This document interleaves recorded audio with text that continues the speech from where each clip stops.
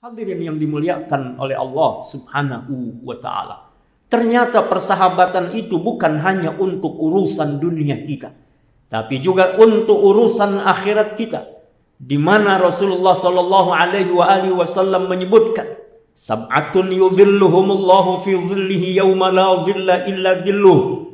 Nanti pada masa di akhirat tidak ada naungan, tidak ada perlindungan kecuali dari Allah Subhanahu wa taala maka salah satu kelompok yang tujuh itu adalah warajulani tahabba fillahi ijtama'a alaihi wa tafarraqa alaihi. Dua orang yang saling mencintai karena Allah. Ia berpisah karena Allah dan kebersamaannya adalah karena Allah taala. Hadirin yang dimuliakan oleh Allah Subhanahu wa taala Dunia hanyalah persinggahan sementara. Dunia mungkin ada sebagian orang yang tidak mendapatkan keadilan. Di dunia ini ada orang yang tidak mendapatkan haknya. Di dunia ini mungkin ada orang yang terpojokan. Akhirat nanti adalah milik Allah Subhanahu wa taala Maliki Yaumiddin. Tidak ada lagi yang bisa disembunyikan. Tidak ada lagi yang bisa didustakan maka di mana kita bisa mencari perlindungan? Perlindungan itu hanya milik Allah Subhanahu wa taala. Beruntunglah orang-orang yang di dunia punya pertemanan yang baik. Beruntunglah orang-orang yang punya persahabatan yang baik. Hadirin yang dimuliakan oleh Allah Subhanahu wa taala.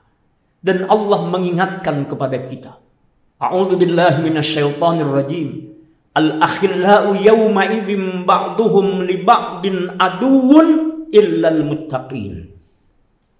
Nanti boleh jadi orang-orang yang di dunia bersahabat, orang-orang yang di dunia berteman, mereka asyik dalam kebersamaannya, tapi di akhirat nanti akan saling bermusuhan antar mereka illal muttaqin kecuali orang-orang yang bertakwa kepada Allah Subhanahu wa taala maka hendaknya pertemanan, persahabatan adalah didasari dengan ketakwaan kepada Allah Subhanahu wa taala.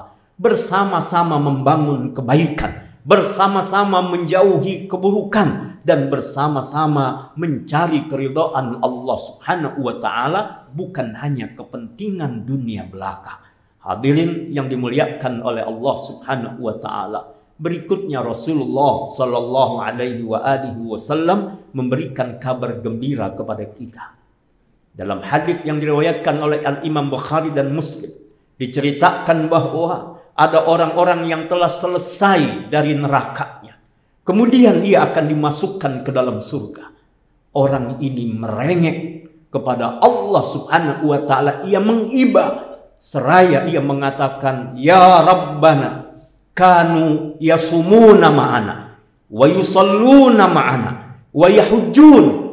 Mereka merengek mengapa? Seraya mengatakan di neraka sana ya Allah masih ada orang-orang yang pernah berpuasa bersama dengan kami. Orang-orang yang pernah sholat bersama dengan kami. Orang-orang yang pernah haji bersama dengan kami. Lalu kemudian Allah subhanahu wa ta'ala berfirman kepadanya baliklah engkau tengok mana orang-orang yang kau kenal, pindahkan ia ke surga. Allahu Akbar. Hadirin yang dimuliakan oleh Allah Subhanahu wa taala. Sahabat insya Allah bisa memberi syafaat kepada sahabatnya.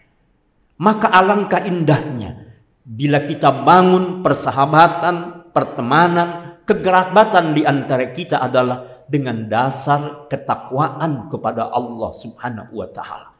Saling tolong, saling bantu dalam kebaikan dan tidak saling tolong membantu dalam keburukan atau hal-hal yang mengundang dosa. Allah ingatkan wa ta'awanu 'alal birri wat taqwa wa la ta'awanu 'alal ithmi wal udwan. Jangan sampai pertemanan itu menjadikan permusuhan atau mendukung permusuhan, mendukung kezaliman, mendukung dalam hal-hal yang mengundang dosa dan membuat kita menjadi celaka. Hadirin yang dimuliakan oleh Allah, mudah-mudahan mulai hari ini dan selanjutnya makin banyak teman-teman kita yang soleh. Sahabat-sahabat kita yang baik. Sahabat-sahabat yang insya Allah bukan hanya kita bersama dengannya di dunia. Tapi sampai dengan akhirat nanti. Dan kita saling bersaksi di hadapan Allah. Dan kita saling memberi syafaat. Agar kita semua mendapatkan keridhaan Allah. Dan mendapatkan surga dari Allah Ta'ala.